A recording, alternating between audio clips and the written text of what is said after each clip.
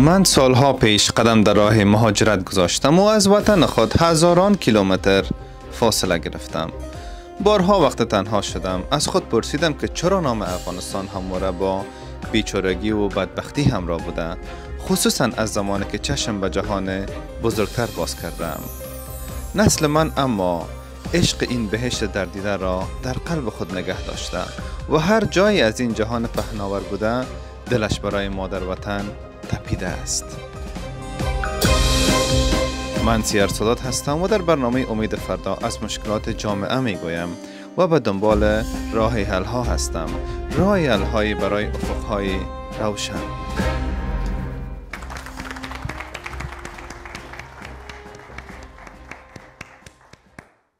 این صحنه ها به یادتان است؟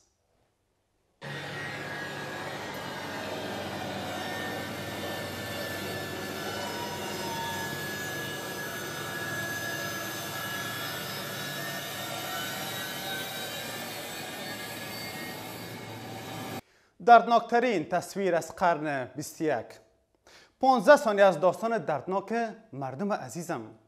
برنامه امروز دقیقا در همین مورد است. چرا انسان اقا مجبور شود که خودش به بال تیاره آویزان کنه و به وطن خانواده و دوستانش برای همیش ودا بگویه؟ هر کس برای خود دلیل داره. فرار از جنگ و خشونت و رسیدن به یک زندگی مرفع ما وقت سالها پیش وطنم را به خاطر تحصیل ترک کردم نمیفهمیدم جای دیگر به خود خانه و کاشانه می سازم بسیاری برای رسیدن به یک زندگی بهتر دل به دریا و دشت و بیابان می‌زنند. بعضی ها به مقصد می‌رسند و بعضی مثل کسانی که از بالا تیاره افتادن فقط خاطره عکس و یک تیتر خبری میشن. چرا ماجرت می‌کنیم؟ چرا خاک و دیار خود را ترک می‌کنیم؟ فایده و ضررش چیست؟ سلام من سیارسات هستم. به برنامه امید فراد تلویزیون آمو از لندن خوش آمدید. شرا غلاست خوش کلپسیز.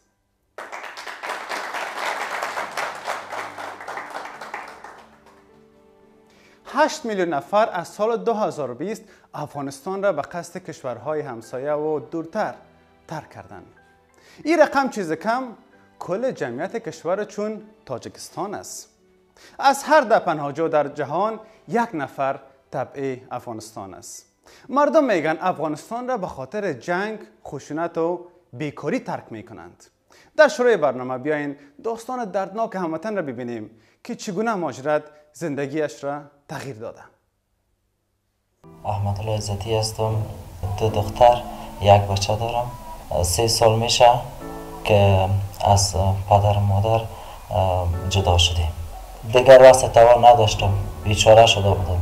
اما یک روز زندگی که سرم زیاد تلخ آمد تضمیم خودم رای همسر خود گرفتم. گفتم میریم طرف خارج. هر چی که نصیب قسمت ما بود. گفتم میرم طرف خارج. دیگه اینجا مزیرکاری کردن نمی‌تونم.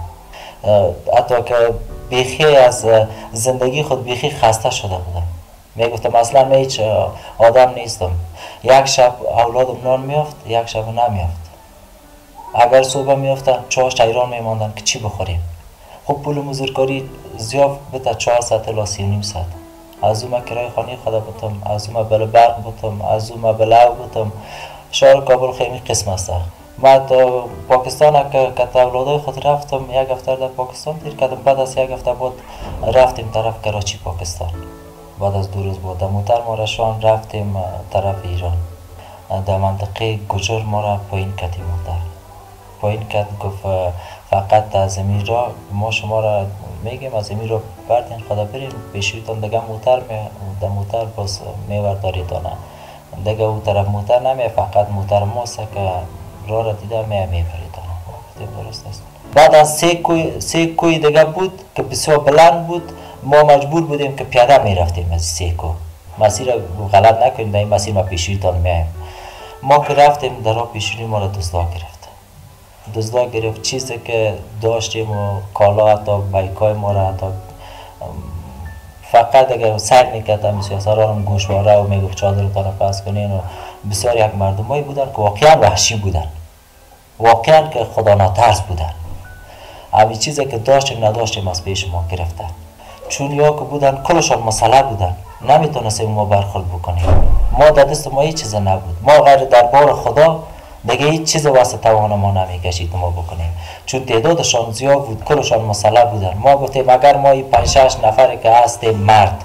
اگر ما مثال که چی کنیم؟ خو یا ما رو بیادر می‌زنه تکت کم می‌کنه. به خاطر سیاست ما که سیاست ما در میدان میمان سیاست خدا چطور می‌کنیم بعد که ما رفتیم باز ما را پلیس های ایران گیر کرد.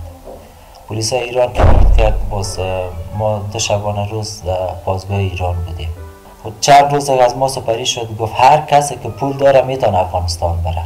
ما یک نفر بود گفته میریم بدر برای زمین کماندانشان میگیم که ما پول نداریم.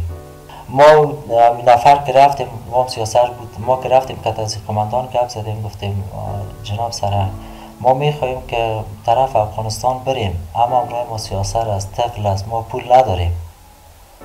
بسیار یک گپ فارز زدی. بسیار یک گپ فارز زد.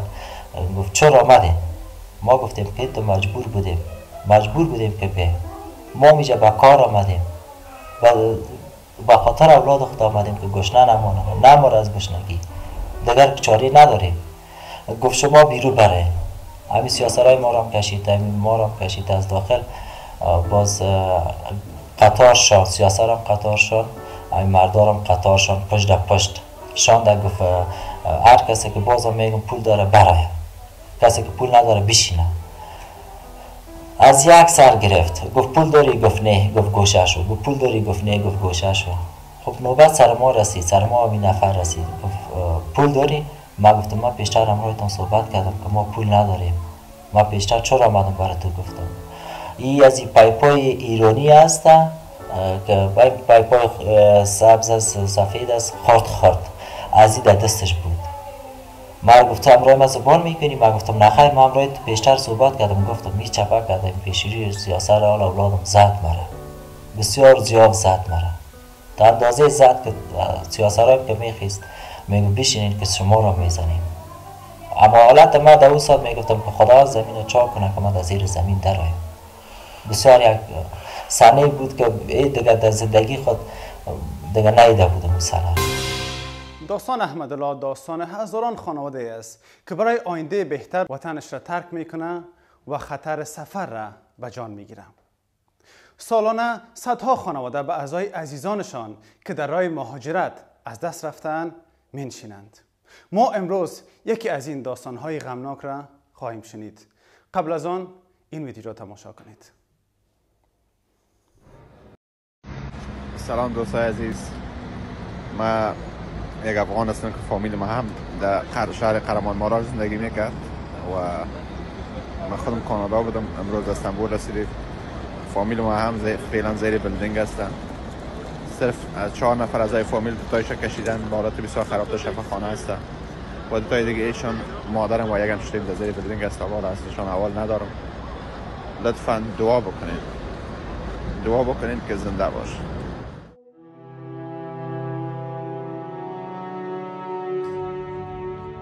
دوست عزیز جنازه دوم است که من دفن می‌کنم. جنازه مادر جانم است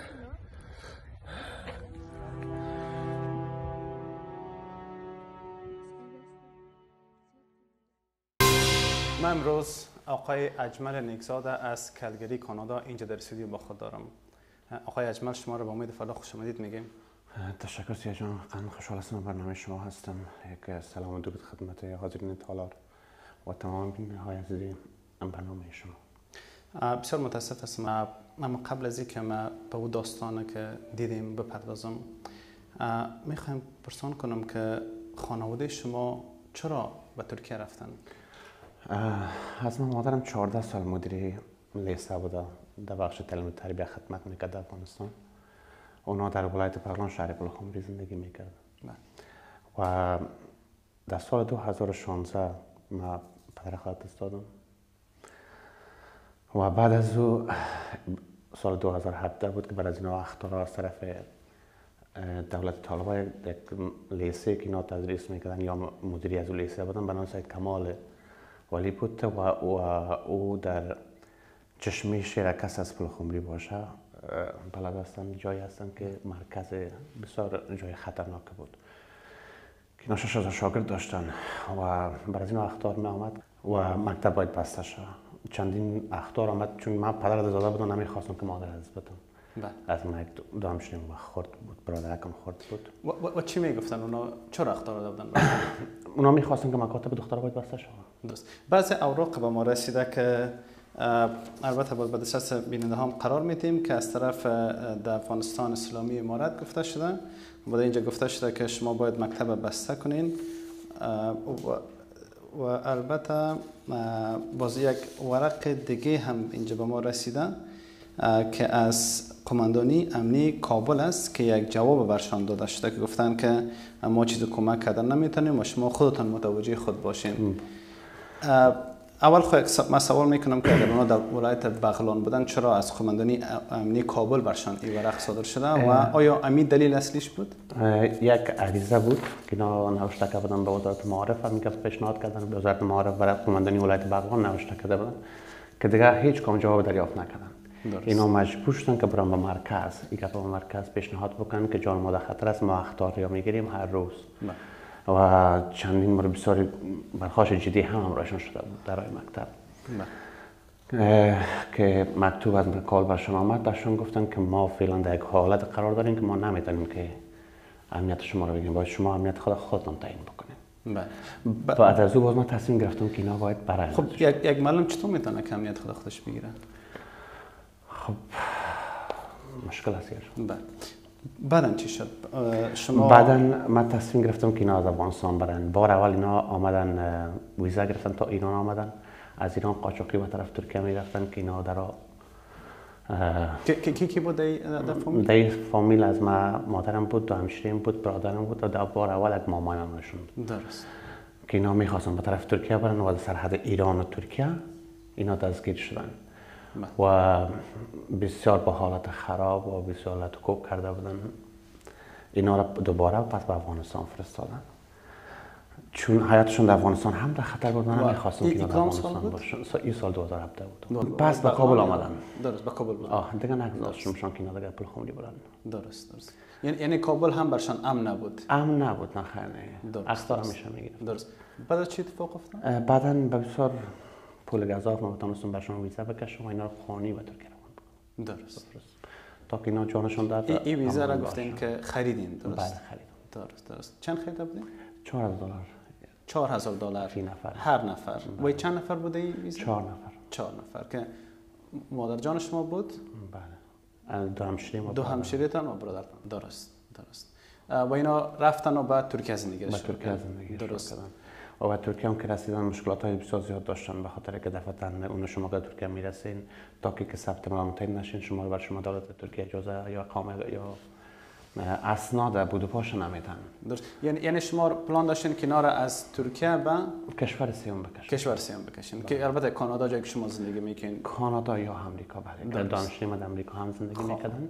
یا کانادا یا امریکا باید اینا بر درست درست. شما چرا اینا رو به شهر قهرمان ماراش. قهرمان ماراش به خاطر که یک همشیریم قبلا ترکیه زندگی می‌کردن. درست. چون مادر همیشه می‌خواد که نزدیک اولاد بله. اینا با گفتن که ما به شهر قهرمان ماراش میریم که چون همشیره ما بود. درست. وقتی که اینا به ترکیه رسیدن سال 2018 همشیره از این شهر رفتن به طرف آمریکا. درست درست.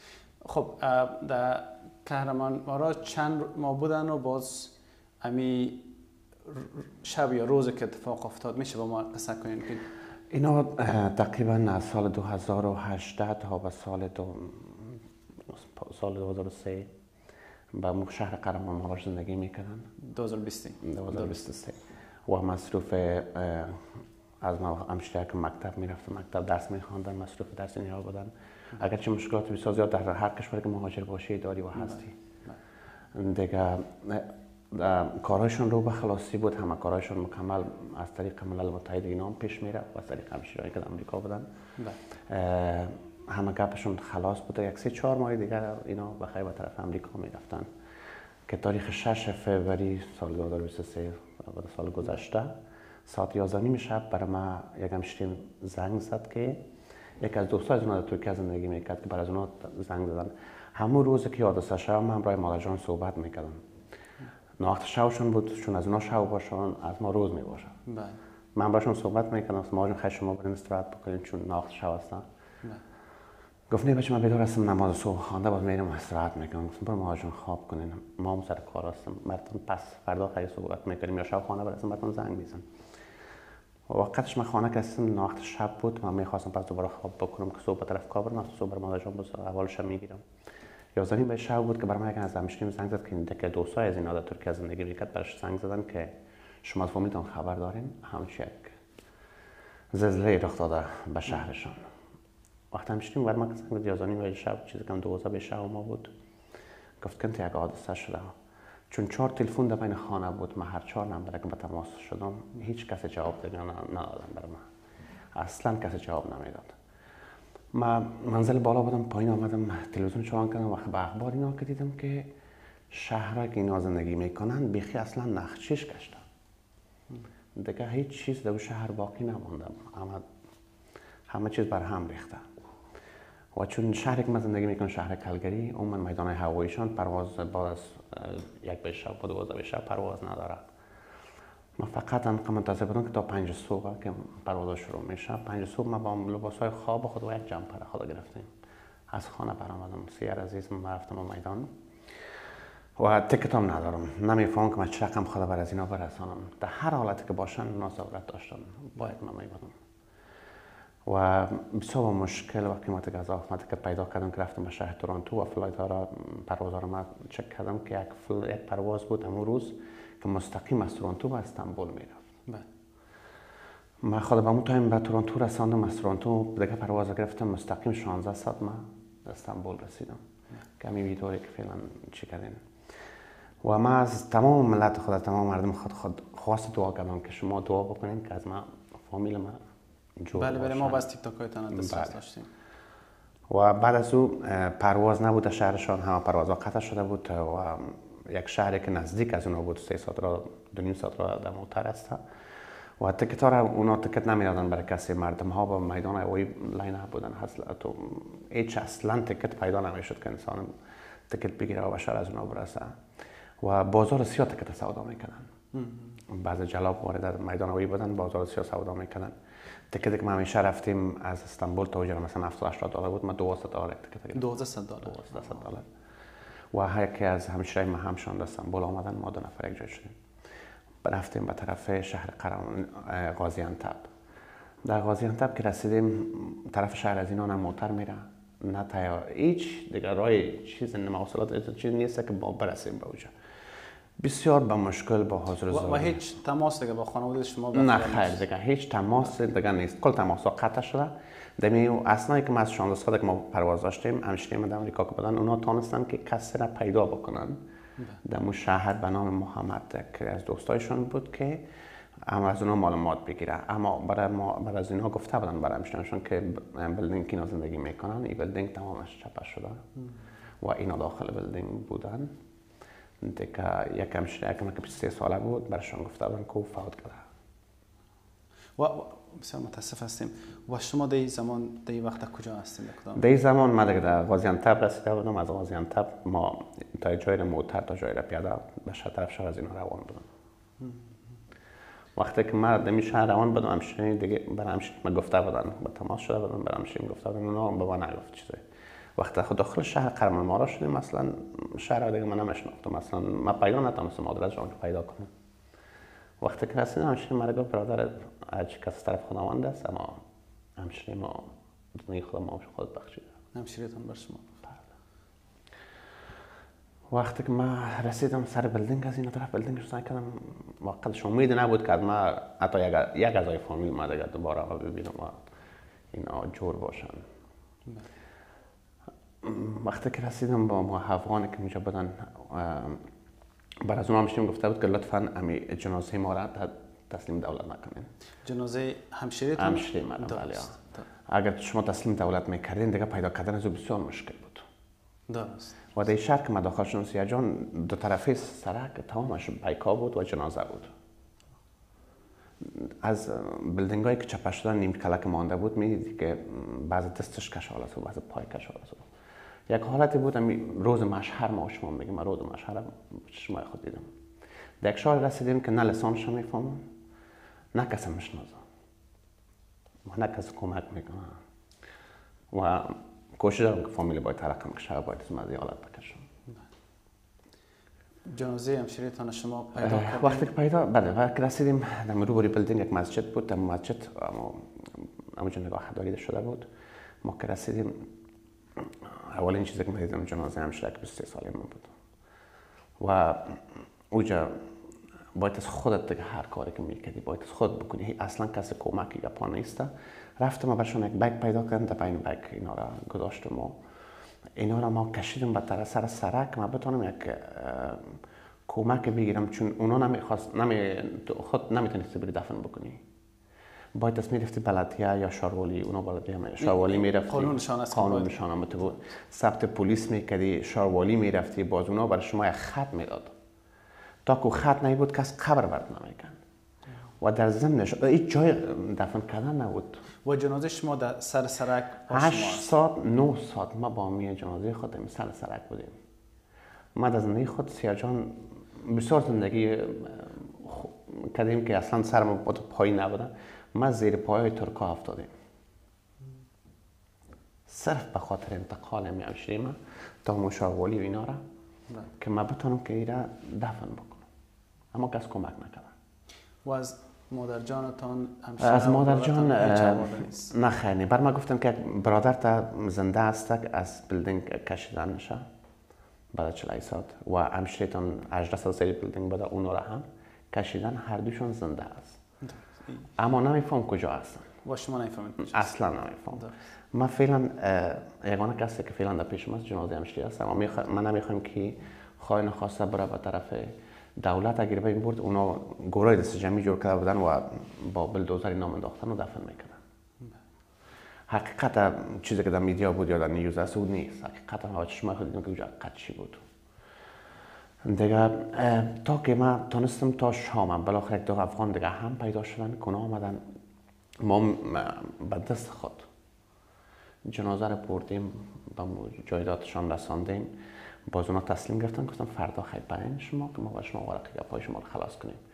بعد از او باز من شام بود شام برم بعدم رفتیم به شفاخانه یک افغان ما گفت که من امکان زیادش هسته که در این شفاخانه برادرتان باشم. و یکی از افغانای ما بود که به حساب بزرگای افغان به حساب اونجا فعالیت داشتن و کمیونیتی افغان فعالیت می‌کردن. رفتم که اونا پیش برادرم در شفاخانه بودم برادر پیدا کردم به شفاخانه. وقتی که رسیدم که یک پای که برادرم قطع شد. یک پای برادرم قطع شد. یک پایش قطع شده و خونالود افتادگی به سر چپر کرد.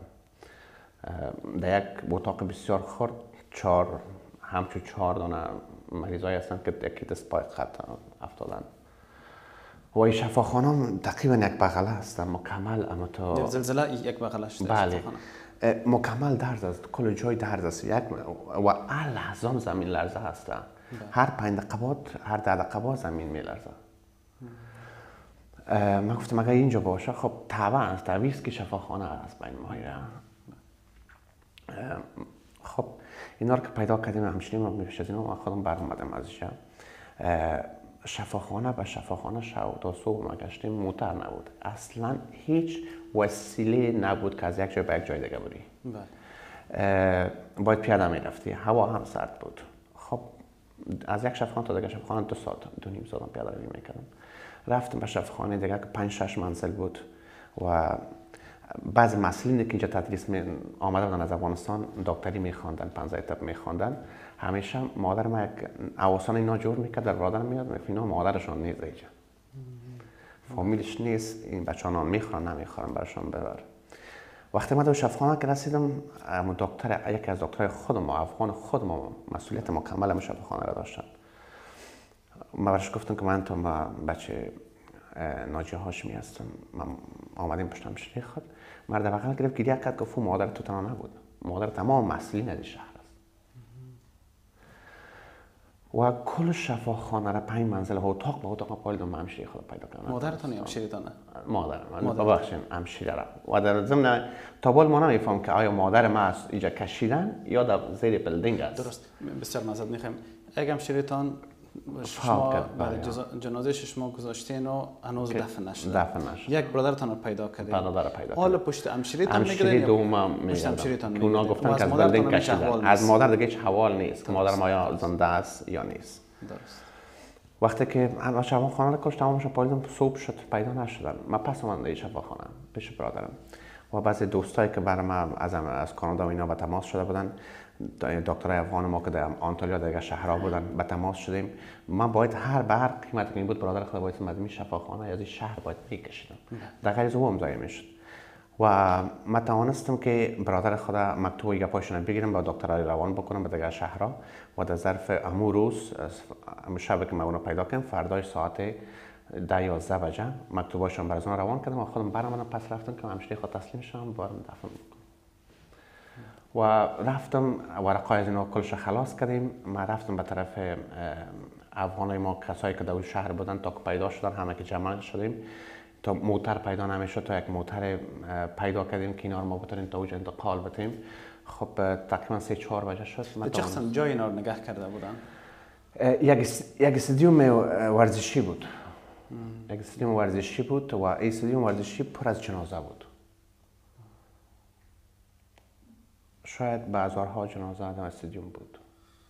و تمام جنازه رو میبردن اونجا. کسی که میشناختن نامش نوشت- نام نویس می‌کردن میماندن. کسی که نمیشناختن در بیک ها اونجا افتادگی بود. اه، در بیک هایی بود که دو دانه سه طفل در یک بین یک بیک انداختن. به اون شکل اونجا بدن و من تونستم که همشیره را ببرم. و یکی از دوستای همشیره که ترک بودن پیدا شدن در ما اسنا اینا ما رو پیدا کردن. چون من کسی نمیشناختم از اینا.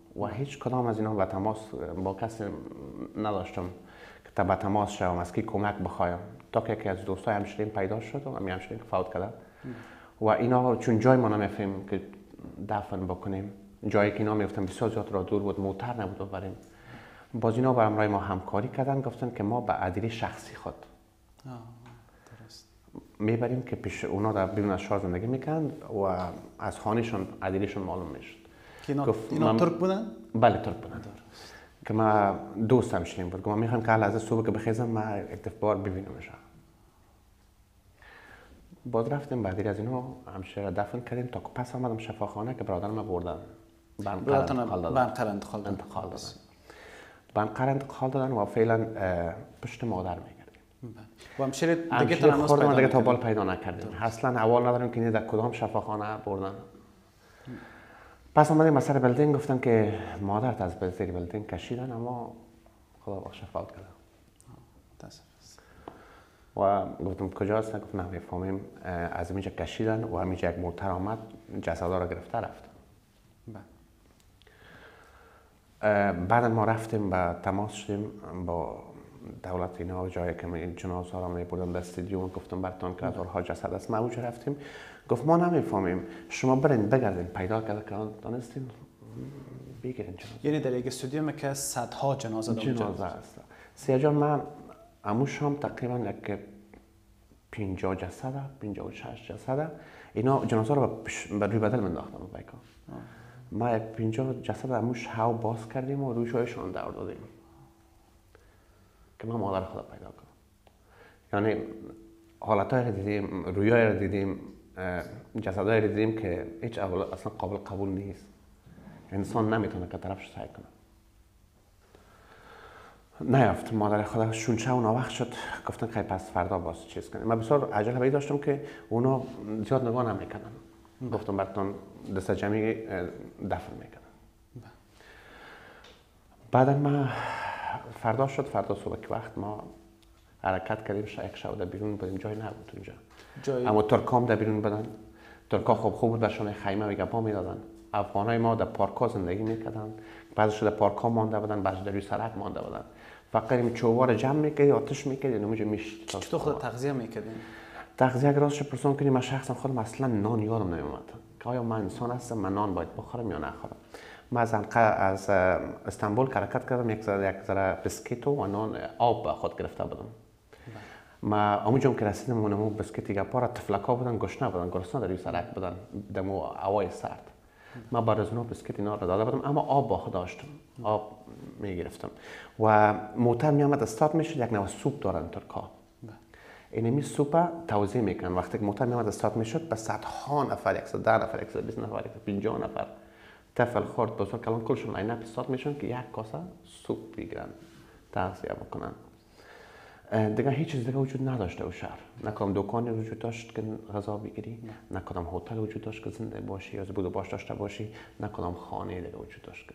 همگی برآمدن و شما شب در گفتین در بیرون بله شب شب ما در بیرون سفری کردیم. بله بله. درست. و فردایش ما پس حرکت کردیم چون اینجا گفتم موتری اپا نبود میگشتیم.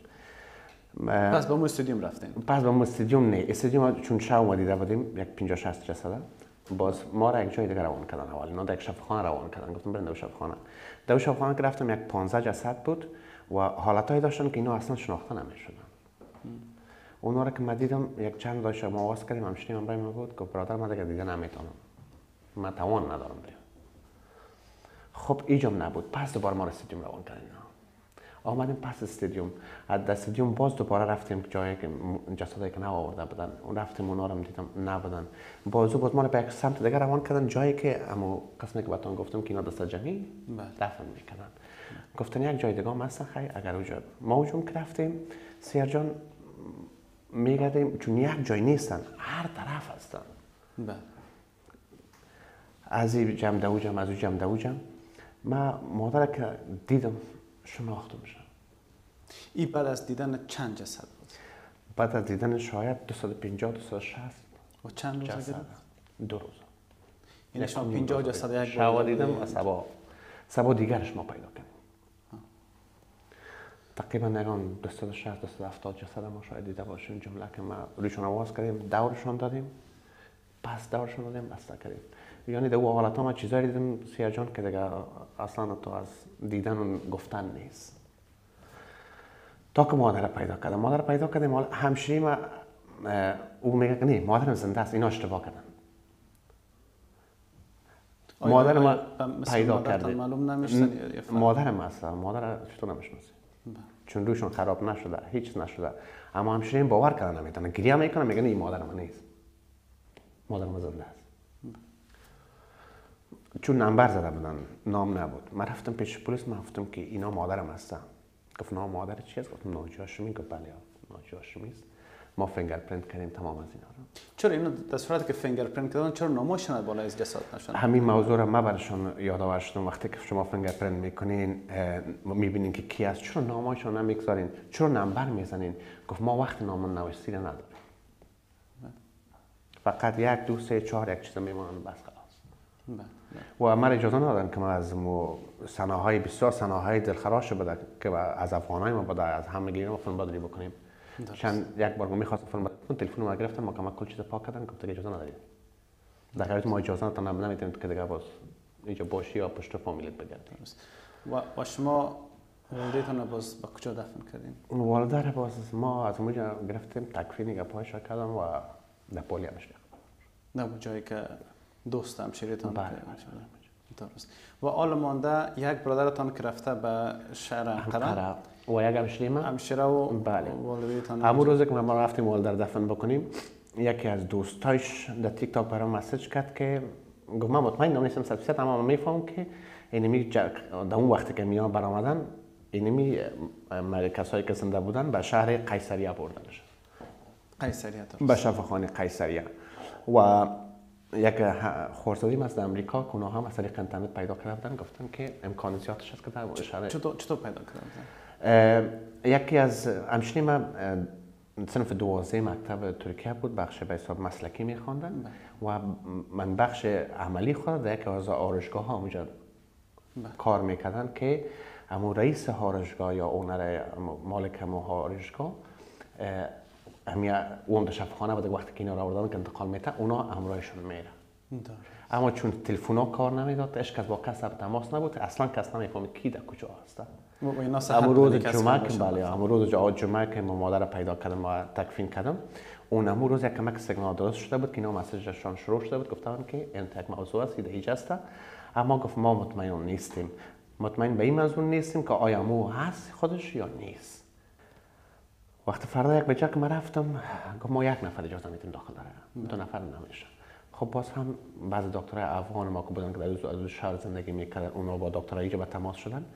ما توانستیم که داخل شویم همشیری خود ببینیم. وقت داخل شدیم بر ما به می سر تا پای و همه گپ سخن ما رو کور کردن و دستکش و یا پا بله. ما بر خطا شدم افتم چرا کارو می‌کنن وقتی که داخل شدم که همشیری ما به حالتی هست که اصلا شناخته نمیشه تمام اعضای بدنش از فعالیت مانده.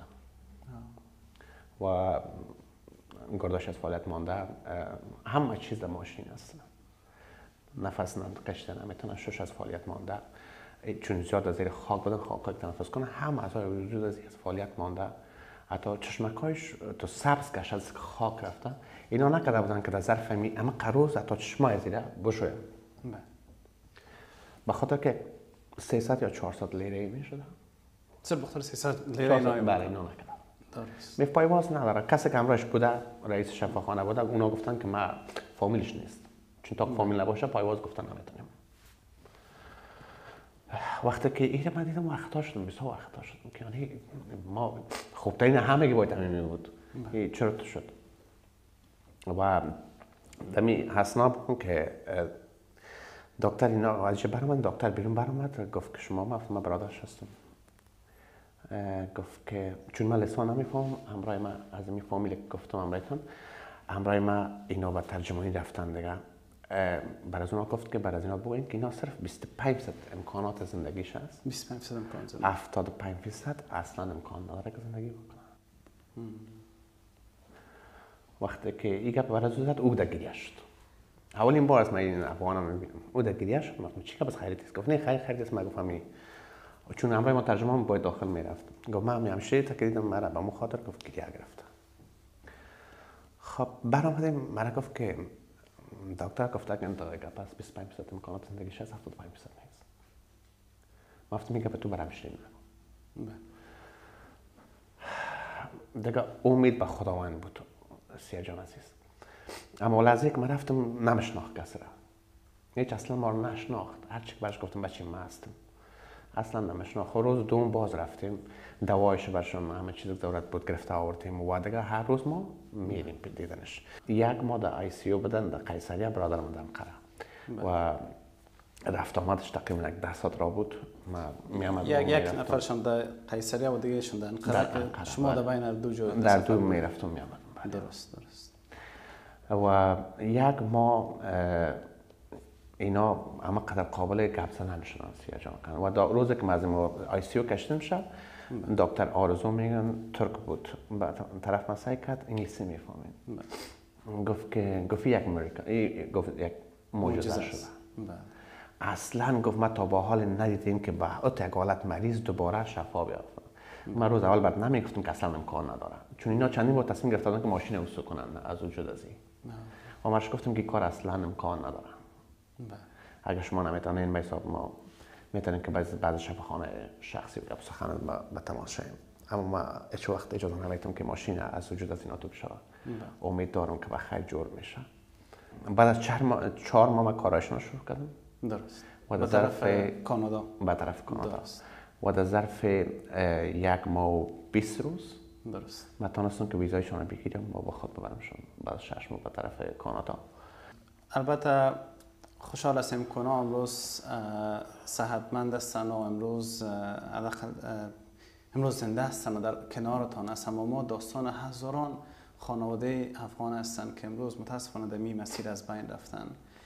اگر بنیادی ما فکر کنیم اگر اگر امو اختار که از طرف طالباش ما گفتین بر والدش ما دادن نمی‌شد فکر نکنم که اینا مجبور میشتن که بیاین ماجر شون و به کشور دیگه زندگی کنن که بازت یک حادثه اتفاق افته امروز پیام شما به می رژیم طالبا که امروز هم اینا مکاتب دخترها را بسته کردن و نیم قشر جامعه از درس آموزش نمی‌تونن که به درس آموزش پیش برن پیام شما به اینا چی است؟ سیاه جان عزیز اگر از نگاه دین شریعت هم ببینیم و شما میگن که آموختن علم و دانش بالای مرد و زن مؤمن فرض. اگر اینا تجدید نظر بکنن و نیمه جامعه ما را دیگه فلش نسازن بگذارن که خواهر ما دوباره پس دوباره به مکه بر بگردن و همچوی اختار و اختاریه و اینا پخش نکنن شاید اینمی جلوگیری از هزاران تراژدی که برای مردم و ملت افغان ما شما میشه شاید جلوگیری بکنن. واقعا. شاید هزاران داستان است که ایت نشد اول بیرون برای. اجمل عزیز بسیار سپاس از اینکه شما از راه دور اینجا تشریف آوردین و داستانتان با ما شریک ساختین.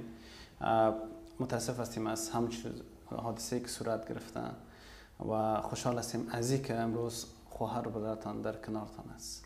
تشکر سیجان تشکر. سازمان ملل میگه از هر سه پناهجو یکی در راه میمیره.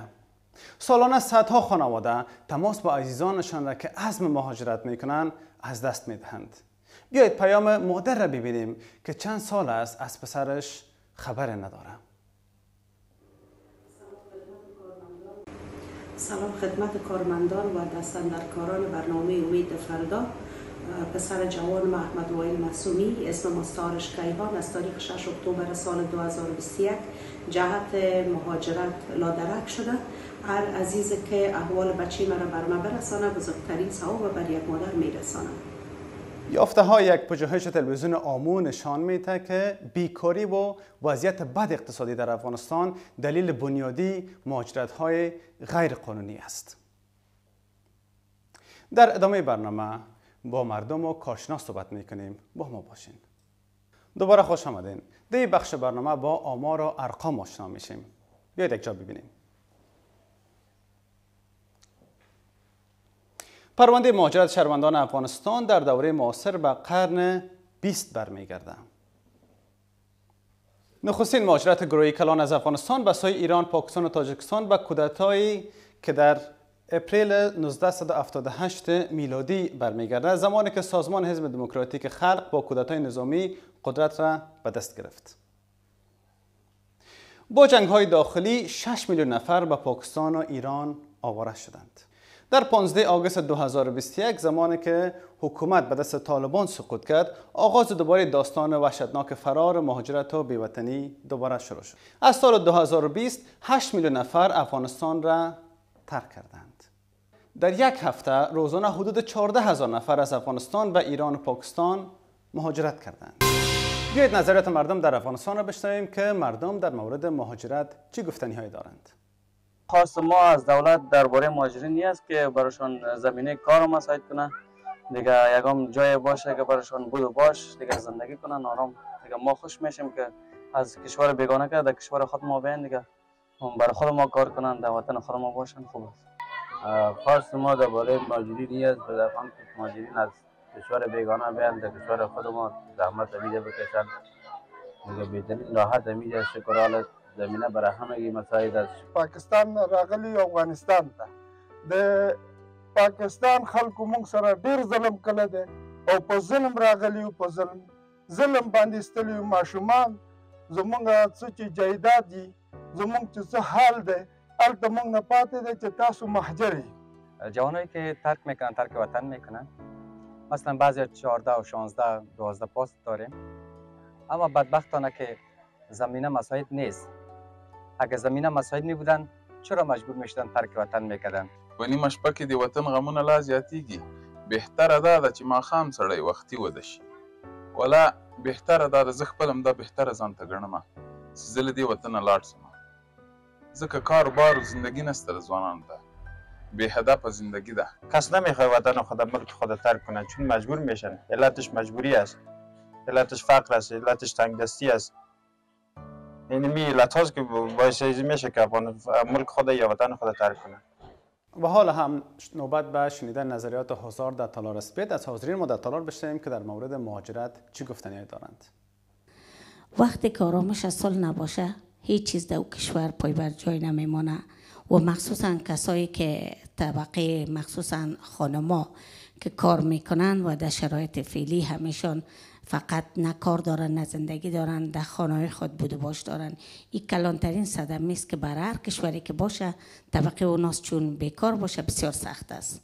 سیدی په ملک حالات ډیر خراب دي که د چا ډیر امکانات یې هلته وخت تېرولی سي ښه دي که باید د قانوني لارو نه راسي ډېر اسانې لارې دي د درسونو student visit ویزو معلومات وکړي په اسانه قانوني او هوایي لارو نه باید خارج ته راسي په جای سي په خطرناکو لارو راځي. من خودم یک پیام بر جوانایی دارم که از افغانستان در یک کره خاکی در هر قاره اروپا و امریکا مهاجر میشن من ازشان یک خواهش میکنم. اگر مهاجر میشین شرایط مهاجریت یا شرایطی که برای شما خوبتر مساعد میشه یک زمینی تحصیل در یک پانتون اینستیتوت فاکولتر یک چیز داشته باشین.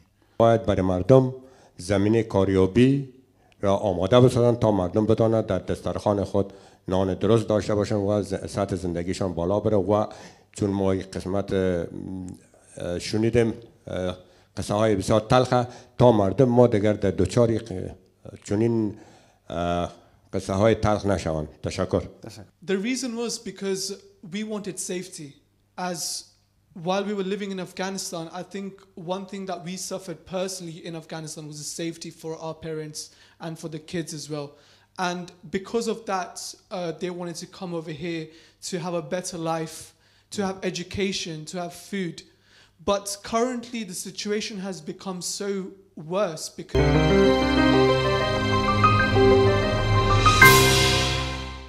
دوباره خوش آمدین در این قسمت برنامه ما با خود آقای گلولی پسرلای را دارم. آقای گلولی پسرلای که یک نویسنده و مدافع حقوق پناهندگان هستند پسرلای سر تاسو ته د سبا هیله په پروګرام کې خلغلاست وایم ډیره من سجان خوشاله یم تاسو سره یم. پسرلای صاحب تاسو په پیل کې راته وایاست چې لندن ته مزل څه رقم و څه ستونزو سره تاسو مخ شوئ او څنګه تاسو دلته ورسېدئ تقریبا 2009 کال کې ما افغانستان پرې خود دغه څنګه چې مخکې کیسې مو اورېدې بدبختیانو د وجه نه د مشکلات د وجه نه زه تقریبا دولس کالو بوم دیارلس او زه ورور مې دواړه افغانستان پرې خود چې موږ اروپا ته راسو. خو هغه سفر دومره اسانه نه څومره چې موږ ته قاچاقبرانو ویلي چې ډېر زر به ورسېږو. هغه سفر شاوخوا یو کال ونیو زه په هغه کې یو دوه درې ځله deport شوم کومې کیسې چې موږ واورېدې د ایران او د ترکیه. دا خلک صرف کله کله ګیله ودرېږدي چې موږ مسلمانان یو ستاسو ورونه یو موږ دا په ترکیه او په ایران کې ډېر ځله افغانانو سره ولس کاله مخکې کېده اوس هم کېږي او شاید هغې نه مخکې به هم کېده نو موږ په ډېرو تکلیفو سره زه برتانیا ته راورسېدم په ایران په ترکیه په بلغاریا څو کشورونو ته تاسو تقریبا نه لس کشورونه تېر سوم او په هر ملک کې به موږ به بندي کولو ډېر ځله موجاته موږ سره کړو ترکیه نه موږ دوه ځله ایران ته deport کړو بلغاریا نه deport کړو یونان کې بندیانو یو دوه هفتې که څه هم د ماشومانو جیلو د ماشومانو هغه یو detention centre غوندې ځای و خو بیا موږ یو دوه هفتې موږ بند کې اچولي وو. په ډېر تکلیفو سره بیا فرانسه کې په کالاس کې مې یو میاشت تېره کړه. هغه کالاس اوس هم شته چې بدبختانه خلک په ډېرو مشکلاتو کې هلته ژوند کوي دا اوس چې ما ته خبرې کوو شاوخوا زر یا دوه زره خلک هلته پراته دي په دې یخنۍ کې چې زما یم نور را روان دی سرپناه نه لري په ځنګل کې خیمې جوړ کړي دي او څومره وخت وشو چې تاسو کوم وخت چې تاسو څو کلنې وې چې کله چې افغانستان شاوخوا یو کال ونیو زه دیارلس کلنۍ کې تر ورسېدم د دزي په حساب دوه عمر یو کال. یو کال ونیو. ښه ښه تاسو نن د افغانانو د حق پاکله تاسو دلته هلې ځلې کوي او ډېر فعالیتونه لري هغې په باره کې تاسو موږ ته وایاست. سیاه جان تقریبا دا لس کاله کېږي چې زه دا فعالیتونه کوم activist او campaigning دی یوازې د افغانانو لپاره ټول مهاجرینو لپاره چې کله دلته راورسېدم د برتانیا حکومت اول زما تابعیت ونه من چې د افغانستان نه بل دا چې social service دلته د ماشومانو ادارې دا ونه من چې زه دیارلس کلن یم. عمر راته ونه من بیا د هغې پیسې باندې زما ته چې کوم اسناد راکړه هغه د ما د عمر په اساس چې یو کال اسناد راکړه. بیا تقریبا زما د اسنادو د پناه غوښتنې دوسیې پنځه کاله ونیول نو د هغې د وجه نه ما غوښتل چې زه د خپل تجربې د استعمال کوم چې نور ته ګټې ورسیږي. خو بدبختانه برتانیا حکومت دا سیستم د ولس کاله چې دلته یم کوم د مثبت قانون یا مثبت فیصله نه دي کړې چې د ماجرونو ژوند خسي څوک چې دلته پناه غواړي دغه خس که هم څوک چې افغانستان سقوط وکړ ډېر خلکو اسناد واخیستل ته خلکو تقریبا لس کاله پنځه لس کاله په انتظار کې او په یو بد حالاتو کې چې نه صحیح کار کوي سو نه ژوند کوي سو بې اسنادي بې اسنادي او غیر قانوني ژوند ډیر سخت دی په برتانیا کې په اروپا کې. هغوی ته اسناد ورکړل که څه هم اوس بیا منفیګانې ډېر شروع کړي دي. نو ما هم دغه زړه چې د خپل تجربو نه زه غواړم چې انګریزان په دې پوه شي چې موږ ولې افغانستان پرېږدو. په کومو تکلیفو راځو او ولې راځو دوی به موږ سره څنګه سلوک وکړي تاسو د ستونزمن مزل په کله تاسو یو کتاب هم لیکلی The Lightless Sky په نوم. د دې په اړه کې موږ معلومات ورکړئ.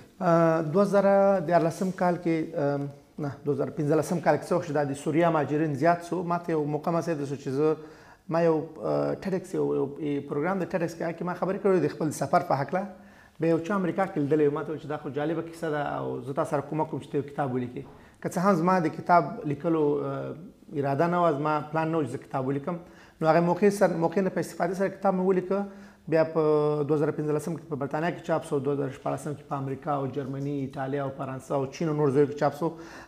نو خو چې ما خپل بیا په دې کتاب کې ما غوښتل چې دا د څوک چې چلول هغه ته وخی چې موږ افغانستان کې ژوند لاره تاسو د پالیسیانو د وجه نه تاسو تاسو افغانستان ته نه راغلي تاسو د foreign policy خارجه پالیسی بدله موږ نه ماجر کیدو. زما نیکه په پیښور کې ماجر زما پلار په پیښور کې درس ویل زلت په برتانیا کې ماجر دا دغه سیستم چې د نو نه دا ډېر خوان روان دي څلوي کالونه. نو دا مې په دې کې explain کړی دوی ته مې ویلي دي او بل پاتې سوچې تاسو باید موږ سره څنګه سلوک کوئ چې کله تاسو موږ ته موږ راغلو په دومره تکلیفو په دومره مشکلاتو تاسو موږ سره بشري هغه تاسو خبره کوي چې human rights او بشري حقوق دی او موږ مدافعین یو موږ دا یو هغه تاسو موږ موږ سره ونه کړ بله او او زموږ لیدونکو څنګه کوي چې تاسو کتاب پیدا کړئ زه لږ باندې ګلم لرم افغانانو نه. افغانان چې د زمون بدبختانه د لوستلو ډېر شوق نه لري خصوصا چې څوک مرګري پیژنم زما زیاتره د supporter ان چې دي غیر افغانان دي. نو خو به چې افغانان زما کتاب د سمون نور لیکوالان ست اوس مثلا یو یو ورور د حمید امیری یو خپل کتاب لیکلی چې Boy with Two Hearts چې دغه ورور دوه زړونه لرل. ډېر جالب کتاب لیکلی زموږ یو بل ډاکټر صاحب واحداریان دی هغه کتاب لیکلی. نور دوستان هم چې اوس کتابونه لیکلي کوم وخت چې ما کتاب ولیکه هغه وخت کوم ډېر کم ماجرونو چې خپل کتاب خپل لیکلی وو نو زه غواړم چې خلک ولولي په آنلاین پیدا کوي سي په امازون کې په هر ځای کې دوی کوي چې دا The Lightless Sky لاس راوړي او د مانه بغیر د نور غم سپورټ کې لیکوالان او بل درس د خپل خصوصا هغه خلک چې دلته راغلي وو اولادونه دلته پیدا شوي هغه اولادونه باید د لاټ لسکای غو کتابونه ولولي چې پوه شي چې پلار او مور څومره زحمت تکلیف سره چې هغه د غزتره ورسیږي په سلای سره ساسو پیام زمونږ هغه وطنوالو ته چې غواړي وطن اوزي دی؟ سرجان دلته چې موږ ناست موږ لپاره ډېر اسان دی چې پیام ورکو زه پیغام چې افغانان ولې افغانستان پرې زه شپاړس کاله بعد بیرته وطن ته لاړم دوه کاله مخکې. ما ولید چې څومره غربت او څومره مشکلات دي حق او حقوق په برخه کې د خلکو د ازادۍ په برخه کې تعلیم او تربیه. عمده مشکل چې د اقتصاد دی او د خلکو ازادي او حقوق دي. نو که زه اوس هغه ته چې مرزي هغه وایي چې ورته لندن کې ناست موږ ته وایي چې مرزي مرزي او کوړته چې راسي بیا لار کې مړ ډیر خلک ته اوس څو مخکې په زمون یو سفیر څو میاشتې مخکې زه سره غیدم په بلغاریا کې. هغه ول چې تقریبا د برغالیا د ترکیه په سرحد کې په هر هسپتال کې 50 نن نیول تر اتیا پورې افغاني افغان غ پراته دي مړی پراته دي. فقط دغه سرحد کې. نور دغه خلک په بوزنیا سربیا کې مړ کیږي او دغه کیسې چې موږ نوري واورېدي نو خلکو ته مې هیله دا ده خواهش مې ده چې په غیر قانوني لارو نه راځي. خو زه په دې پیغام چې قانوني لارې هم نشته نو د سیو دا دا یو ډیر سخت سوال دی سټوډنټ ویزا په طریقه دا خو دا کاکا مخې دا خبره وکړه دا د سیاسانو خلکو به کول د سیاسانم نه دی زه خپل راغلم د student visa په اوس هغه ډیر سخت سوی دی غلاري زه غواړم چې خلک په قانوني لار راسي په student visa په visitor visa په spouse visa کوم قانوني لار چې دی هغه ځان ته انتخاب کړي خو د افغانانو لپاره وزي اوس ډیر زیات کړي او چې دلته مراسي دلته اسناد نه درکې دا اوس په دې تیرو کې حکومت بدل شوی که هم دا خو حکومت دی دا د کارګر ګوند چې راغلی خو ډیر افغانانو ته منفي ورکړي دي. افغانان چې دلته راځي اروپا ته خارج ته کوم ملک ته صحیح سلامت راورسي د عمل ته پاتې شي ځکه هر ملک په جرمني کې په اتریش کې په فرانسه کې نور ځای کې چانسونه د ژوند سره په تاسو په سمندر په کشته کې کراس کې. نو زه په دې په زه نه غواړم چې دا وایم چې مرزي او نه وایم چې راسي خو کار شي کوي خو سوچ شو هغه سره وکي سوچ سمج سره چار څنګه مخته ځي خپل ژوند په خطر کې ما چوي قاچاقبران ته پیسې مور کوي قانوني لارې بهترینه خبره ده؟ چې په قانوني لارو په یوازې یو کې ضروري ده چې برتانیا ته راسي بل کوم هیواد ته راسي. او بل موږ باید موږ دا اوس څوک واکداران دي دوی باید یو سیستم برابر کړي او ستراتیژي جوړه کړي چې ولې افغانان افغانستان نه وځي او د هغوی مخنیوي دی ونه نیسي خو هغوی لپاره د دې چانس نه برابرې چې لاړ شي. ځکه هغوی ته د کار موقع مسایده کې هغوی ته د حق او حقوق ورکړي چې خلک مجبور نه شي چې خپل وطن پرېږدي. صلی صاحب ډېر زیاته مهرباني تاسو موږ ته وخت ورکړ. ډېر مهرباني. کور مو ده در قسمت برنامه ما با خود آقای انور قاضی را به خود دارم که یک وکیل مجرب هستند و همچون آقای احمد بلال انیس که یک روانشناس یا سایکولوژیست موفق هستند. شما را به امید فردا خوش آمدید میگیم. تشکر سیار جان. خوشحال هستم که در برنامه امید فردا و در تلویزیون آمو امروز حضوریت داریم. ممنون. با, با شما آقای بلال بخیر برمیگردیم. می‌خوایم از شما آقای قاضی بپرسیم که چرا ما شما داستان های زیاد را دیدیم؟ چرا اصلا افغان های ما مجبور میشن که مهاجر شوند؟ درست است. سیار جان پیش از اینکه من این سوال شما را جواب من مختصرا نمی قوانین مهاجرت چون بسیار مهم است به افغان های من می‌خوایم بسیار کوتاه توضیح بدم. قانون مهاجرت از مایده جنیوا جنیوا کنونشن 1954 امضا شد که تقریبا 196 مملکت سیگنیتری داره یا عضویت عضویت داره میمشد داره و نظر به او قوانین اشخاصی که و این نقطه بسیار مهم اشخاصی که مشکلات نژادی دارن مشکلات سیاسی دارن مشکلات جنسی دارن دیگه مشکلات مذهبی دارن و دیگه بعض مشکلات عمومی که هستن می‌تونن که در این ممالک من حیث پناهنده قبول شوند. و این ما به خاطر ذکر می‌کنم من حیث یک وکیل ما بسیار دیدیم افغانای خدا که میاین مشکلات های شخصی خود ذکر می‌کنن الان مثلا دشمنی و چیزا این مسائل قانون نظر به قانون پناهنده یا قبول نمیشن دیگه با مشکلات مواجه میشن. چرا افغان های ما زیاد ماجرت رو به ماجرت میینه ماجرت یعنی چیز کدام؟ گپ نو نیست. بسیار از سالهای قبل ما افغان های ما به مشکلات های مختلف تصمیم گرفتن که به ممالک اروپایی و بریتانیا و بعض ممالک دیگه برن. در دولت سابق هم افغانای داشتیم. یک تعداد افغانای به این ممالک اروپایی و بریتانیا و دیگه ممالک مهاجرت می‌کردن مگر بعد از اینکه طالبا به قدرت رسید نظر به مشکلات مشکلات اقتصادی یعنی ما مردم اکثرا مشکلات اقتصادی را زیاد ذکر می‌کنیم مگر ما من حیث یک وکیل خود گفتیم که تنها مشکلات اقتصادی نیست افغانستان مشکلات های امنیتی است مشکلات های سیاسی است مشکلات های حقوق حقوق بشر و حقوق دیگر مسائل است. و اقتصاد یکی از عمده ترین مشکل است که افغان های ما کوشش می‌کنن به این ممالک که اقتصادشان خوبتر باشن مهاجرت کنن. درست. بسیار تشکر آقای قاضی. آقای انیس می‌خوام از شما بشنوم که زمان که ما در افغانستان بودیم از طفلیت بر ما مثلا در ذهن هر طفل یا در ذهن هر کس گفته می‌شد که خارج خوب است و باید زندگی در خارج شوم. و زمانی که نسل های ما میاین به خارج اینا یعنی نسل بعدی ما دیگه هیچ وقت باز بر نمیگردن به کشورهای پس بار به افغانستان. یعنی نسل سوم و چهارم خو مکمل بازن روی افغانستان اما ارتباط خود دست میتن میشه درباره می از لحاظ روانشنی درباره می تاثیرات جامعه به ما بگین سلام برای کسایی که در اینجا تشریف دارن و کسایی که ما را می‌بینن و میشنون. سوال بسیار مهمه است. من نمی‌خوایم درباره مهاجرتش صحبت کنم. ولی از لحاظ روانی میشه گفت که متاسفانه از طفولیت در ذهن ما یک چیزی خطور کرده یا در ذهن ما یک چیزی حکاکی شده و پیچکاری شده. که ما اصلا من حیث شخصیت یا من حیث یک قوه درونی او را ما حس می‌کنیم. اگر بر شکل بسیار رامیانه صحبت کنیم در افغانستان متاسفانه اگر بین دو نفر یک مناقشه یا یک تنازع یک جانب برش میگه که برو دست تا لندن خلاص. که متاسفانه این جزء از کلتور و جزء از وجود میشه که در ذهن انسان مثل حکاکی مندرج میشه. اما در اینجا یک سوال مهم ای است که چرا ما متاثر میشیم؟ چرا میاییم به این کشور؟ وقتی که ماجرینه که قبلا در اینجا ستل شده اونا به کشور افغانستان میایه با وجودی که شاید سالها سالها او او پیسه را سیف کرده باشه یا اقتصادش خوب باشه میایه برای افغانستان. بسیار یک کالای خوب سفید عطر زدگی و احترام بسیار مردم برشان قائل هستن کلگی می‌خواه که من باید برم که این رقم محافظت از من شوه یا یک قسم احترام به من شوه و گپ سوم این که تمدن ها و امپراتوری های گذشته بله.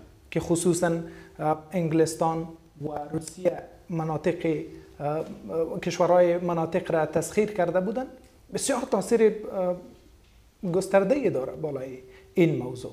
مثلا انگلستان یک وقتی افغانستان را تسخیر کرده بودن کشور هند و پاکستان هر کس می‌خواد که حداقل امپراتوری را ببینه که چه رقم است. بله. چی گپ است اونجا. به نظر من این سه عوامل هست که در افغانستان قابل تطابق است. اگر عمومی صحبت شود باز عوامل دیگه موجود است. مثل که وکیل صاحب گفتن که او را ما تایید میکنم. اما وقتی که موضوع افغانستان میه این موضوعات بسیار دقیق و شدید هستند که انسان ها ذهنا روحا به آماده به مهاجرت میکنند. بسیار تشکر. آقای قاضی ما در ارقام دیدیم که از سال 2020 8 میلیون از افغان ها افغانستان ترک کردن و بعض پروژه های به نام عرب و وی است که امو کریم جامعه را از اونجا گرفته که البته دکترها انجینیرها وکیلا و بقیه کسایی که فهمیده هستن اینا را از افغانستان به کشورهای غرب میارن چقدر این می‌تونه به افغانستان متضرر باشه و چقدر می‌تونه که افغانستان ضربه بزنه؟ اولتر از همه بعد از یک طالبا به قدرت, رسیدن اسکیم های مختلف اعلان شد. یک اسکیم عرب بود عرب اسکیم بود که اشخاصی که امرای اساکر برطانیا و امرای منابع دیگه برطانیا در افغانستان کار کرده بودن. اینها را امرای اعضای فامیلشان آوردن در, انگلستان. و بعدا یک scheme دوم به نام ACRS این scheme ی بود که کسایی که در وقتی که در تایر میدان هوایی در Operation Pitting میگفتنش هم کسایی که تخلیه شدن آورده شدن بر ازوا ویزا داده شد و بعض افغانای دیگه ما که مثلا scholarship داشتن و باید می آمدن و نتانستان آمده بر هم ویزا, ویزا دادن. و در این حال بعض مردم افغانای دیگه ما که در فعالین حقوق بشر بعض سیاس اشخاص سیاسی که یادشان در خطر بود اونا را هم از طریق از زمین چقدر امی, امی پروژه های مختلف پروژه... اسکیم های مختلف چقدر افغانستان ضربه می‌زنه؟ ماجرت ماجرت نقایص خود داره. بله. وطن ما بالخصوص یعنی سبب بدبختی های امروز ما ای بود که کار به اهل کار داده نشد بله. ما در سابق هم و فعلا هم و در آینده هم اشهدن به مردم های مسلکی خود ضرر داریم. این نمی زحمات خود که ما در این مملکت می‌کشیم و اگر می زحمت های خود ما در افغانستان می‌کشیم شاید مملکت ما یکی از پیشرفته ترین مملکت در آسیا یا در دنیا می بود واقعا ضربه بسیار خاصره به مردم افغانستان در حالات فعلی که واقعا ما حقیقتا به اشخاص سیاسی اشخاص, اشخاص مسلکی ضرورت داریم و آینده افغانستان بله، بله.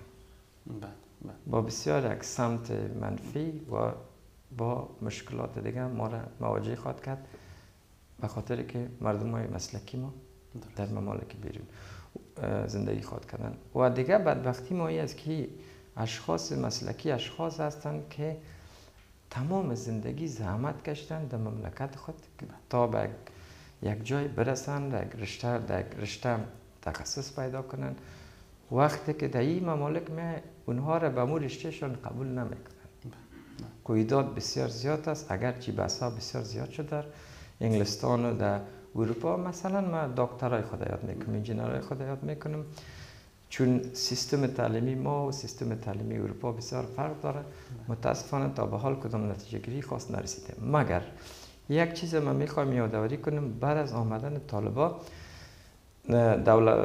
دولت های ممالک اروپایی و انگلستان سهولت های خاص را دادن تا افغانای ما جوانای ما بتانن که مستقیما داخل پنتون شوند و هر رشته که علاقه دارن بتونن به سر برسانن و یک جای خود برسن درست بسیار عالی باز هم سیر جان یک گپ آخرم ما برتان خود گفتم که ما امید خود از دست نمیتیم ما همه افغانای ما اگر دکتر هستیم اگر وکیل هستیم یعنی هر رشته که داریم ما به می یک امید منتظر یک امید هستیم که افغانستان سهولتش خوبتر شود امنیت خوبتر شود و ما همه ما بریم و از طریق نمی مسلک خود بتانیم مملکت خود آباد کنیم. بسیار بسیار آقای انیس رای حل چی است؟ چی باید کرد که مردم مجبور نشن افغانستان ترک کنن؟ خب سیار جان مثل که قبلا ما گفتم از نگاه روانی اگر سوال بکنیم که چطور رای حل مشکلاتی که پناهندگی را توقف بدیم ای است که ذهن سازی شود در افغانستان. ذهن سازی به این معنا که حب الوطنی که برش میگیم به او تاکید شود. کروکلمه های مکاتب یک چیز به نام محبت وطن و یا هم در کروکلم مکتب اضافه شود. در در صورت که مردم نان خودن خود نداشته باشن آیا موضوع حب الوطن اونا رو کمک می‌کنه؟ تو سیب جان اگر ببینیم اینجا هم کسایی که اینجا هستند در خارج زندگی می‌کنن بیشتر مرا درک می‌کنن که اینجا هم زندگی سخت است. مردم بسیار زیاد کار می‌کنن. در افغانستان هم کار هست. کار باید آفریده شود. به چی معنا؟ ما نمیگم خدا نخواسته که حالا دوستا از ما خفه نشه که شما در یوکی ششتن میگین که در افغانستان کار است و اونجا کار نیست. اینطور است انسان باید خودش کار برای خود بسازه. همون مردمایی که اینجا بیه اگر برش بگویی که این کار می‌خواستی در افغانستان بکنی میگه نه به هیچ صورت نه. کل ما شما که اینجا هستیم از بسیار صفر شروع می‌کنیم. با وجودی که در افغانستان لول اینجا هست.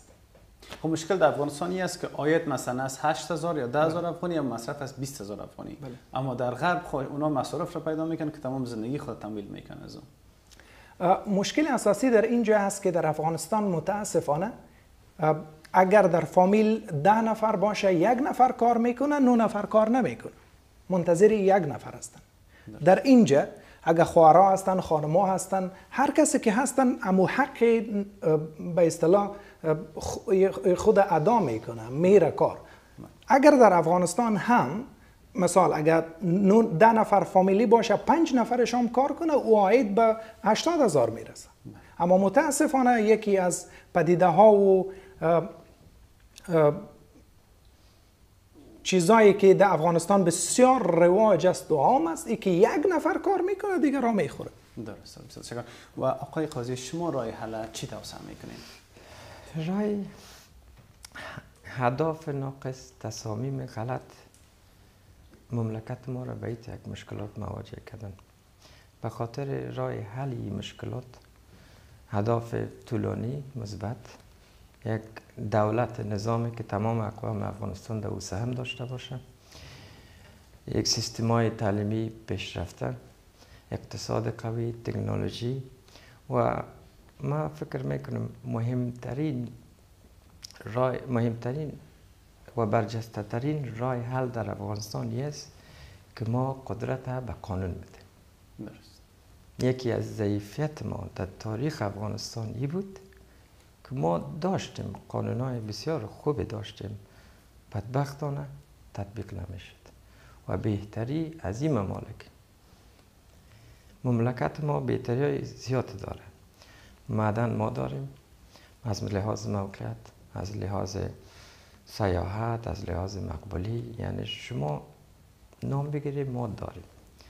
بعض ممالک هست که اصلا اینی سهولت هایی که ما در افغانستان داریم اینها ندارن. مگر اینها بسیار پیشرفته هستند نسبت به آلاتی که ما امروز در افغانستان مشاهده می‌کنیم؟ سبب پیشرفت دلیل پیشرفتی اینها ای است که قانون و تطبیق قانون. و خلاصه رای حل افغانستان قدرت به قانون دادن بسیار عالی. بسیار تشکر آقای انور قاضی و آقای احمد بلال نیست. بسیار تشکر از وقت شما. حتما شما هم با واجه های پناهنده، پناهجو، مهاجر، آواره به وطن خطاب شدین. چقدر دردآور است که کشور به او زیباییش را تر گفته و در کشور بیگانه با هزار مشکل زندگی را از شروع آغاز می‌کنیم. البته اگر موفق به رسیدن شویم و در دریا و دشت و بیابان تلف نشیم. نسل اول که با هزار امید آرزو در او کشور ماندن فعلا پیر و زهیر شدن و دیگر توانایی گریز را ندارند. نسل دوم و سوم که دار ندار و کشور هستند یا رفتند و یا می روند نسل اول امیدوار است تا نسل دوم و سوم مزید تلخ مهاجرت را نچشیده و مهاجر رو به وطن نشوند. اما این داستان را پایان نیست و متاسفانه سرنوشت ما با مهاجرت و بیوطنی گره خورده است. با امید فردایی که هیچ فرد مجبور به ترک خاک و دیارش نشود. با امید فردایی که همه در کنار هم از آب و هوای وطن خود لذت ببریم. با امید افغانستانی که همه نسلهایش کنار هم خوب و خوش زندگی کنند. در این بخش برنامه هنرمند محبوب و خوش صدای کشور آقای اوبای جوینده را با خود داریم که آهنگ را برای ما تقدیم می کنند این آخرین قسمت از فصل اول امید فرداست.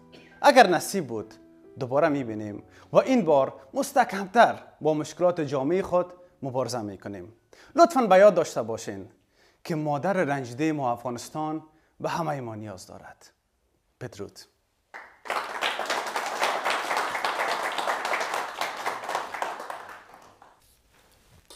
عزیزان درود خدمت همه شما.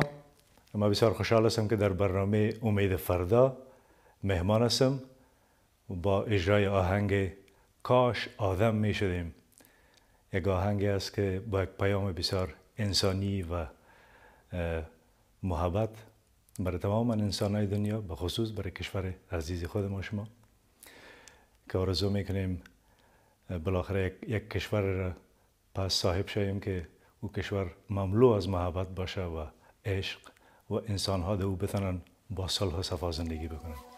تشکر از محبت.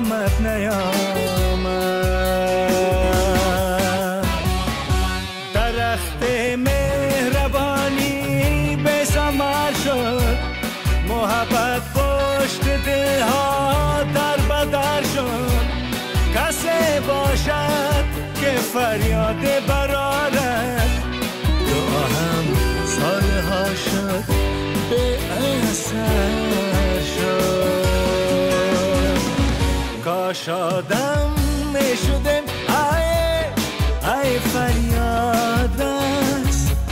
از نفس های جهان را یک نفس کن هم نفس.